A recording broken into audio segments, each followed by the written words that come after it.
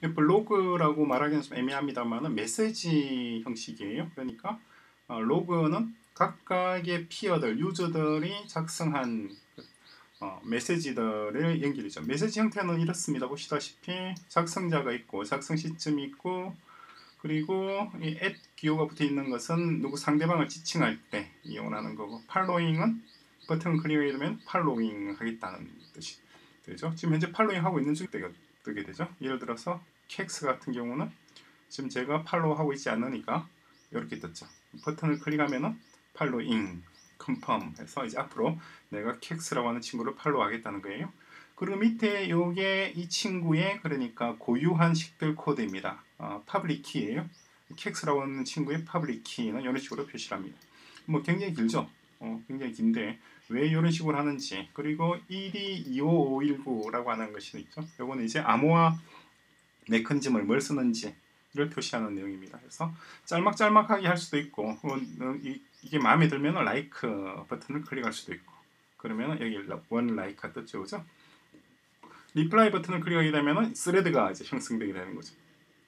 이 친구의 말에 대해서 내가 어떤 reply를 달 수가 있습니다. 그죠? 그리고 어, 최근에 좋은 글이 올라왔는데 짤막짤막하게 트위터보다는 길고 어, 그래, 그리고 또 뭐라고 해야 되나요? 어, 일단 페이스북의 정도, 페이스북 정도의 어떤 길이가 구성이 됩니다. 그래서 그림도 올릴 수가 있고 음, 여러 가지 형태가 가능해요. 일종의 형식만 보면 페이스북하고 비슷하죠. 그리고 어, 최태연이라고 하는 한국인 친구예요. 어, 이 친구는 현재 지금 제가 팔로잉 하고 있고 이 친구의 파블릭 그러니까 키는 요거이고 그리고 이 친구가 쓴 글에 보면은 이렇게 그림도 넣어서 어, 그림도 같이 넣을 수가 있습니다. 근데 그림을 넣는 방식은 좀, 좀 다른 방식이에요. 어떻게 하는지도 좀 이따 살펴보도록. 살펴보겠습니다. 그래서 view full thread 버튼 클릭하면은 이 글에 달려 있는 reply들이 쭉 연결돼서 나타나게 됩니다. 그렇죠? 자, 이런 형식인데 이 메시지의 가장 기본적인 형식은 이런 식으로 구성이 됩니다. 그러니까 좀 전에 봤던 그 최태현이라고 하는 친구가 메시지를 작성하게 되면 일단 제일 처음에 작성하는 블록체인의 블록과 같아요. 블록체인의 블록과 같은데 어, 블록체인은 블록 단위로 이걸 구성을 하지만 이건 메시지 단위로 메시지 단위로 이게 체인이 만들어집니다. 메시지 체인이라고 말씀드렸죠, 그렇죠? 그래서 하나의 메시지가 작성을 했고 그런 다음에 이 메시지의 아이디를 만들어냅니다. 이 아이디는 이 메시지 이 뭐예요? 이 메시지를 hash해서 어, hash한 값이 아이디예요. 메시지 아이디. 그죠? 이 메시지 아이디가 다음번 메시지에 포함되게 되죠. 그래서 체인이 구성이 됩니다. 그렇죠? 그리고 사인이 첨부돼요. 사인이 첨부됨으로 해서 이 메시지를 어, 이 아이디를 가지고 있는 사람이 작성한 게 맞다. 라고 해서 두 번 다시 번복할 수가 없는 상황이 되는 거죠. 그죠? 그래서 이렇게 쪽쪽쪽 연결이 됩니다. 그래서 메시지 전체가 하나의 체인, 각각의 메시지가 하나의 체인을 형성한다는 거죠. 그죠? 그러니까 이제 위 변조가 방지되는 것은 왜 그런가요? 위 변조 방지되는 것은 요 메시지 시그너처 때문이기도 하고 그리고 메시지들 간의 체인이기 때문이기도 하고 그리고 한 번 뱉은 말에 연구 보존된다고 했잖아요. 왜 그런가요?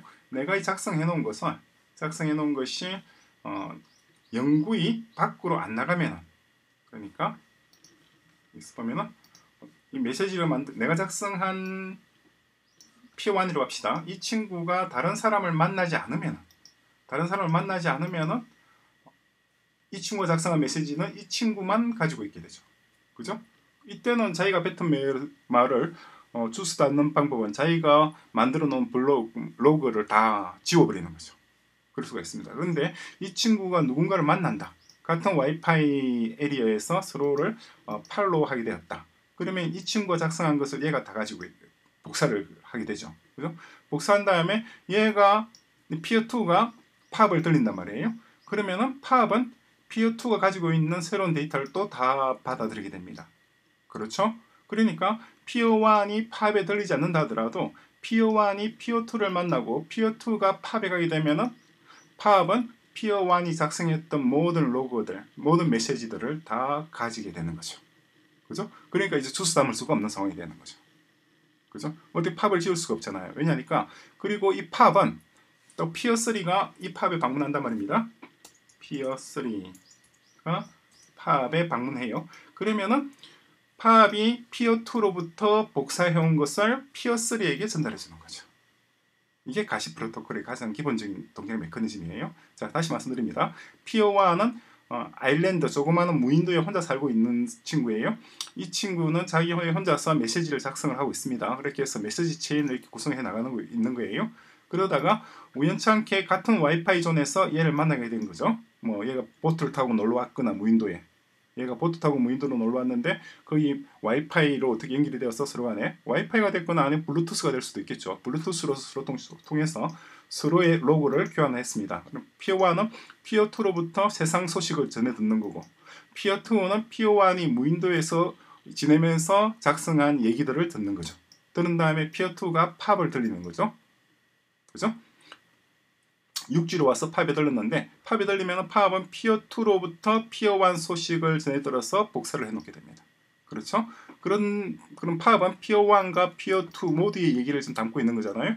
이 pub에 peer 3가 들리게 되면 얘는 이 친구들 모르는 친구들이에요. 그런데 pub을 통해서 peer 1과 peer 2의 로그 내용들, 메시지 내용들을 다 전해받게 되는 거죠. 이해되시죠? 이런 시스템입니다.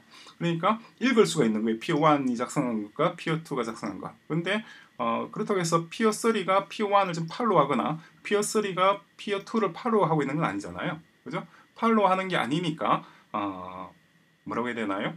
음, 어떤 고지 peer 2가 새로운 쓴 것을 push 방식으로 받는 건 아니에요. pull 메커니즘으로 동작을 하게 됩니다. 이 부분이 약간 약간 좀 복잡한 부분이 있어요. 그래서 그 부분을 이어지는 에피소드에서 다시 한번 다시 설명을 드리겠습니다.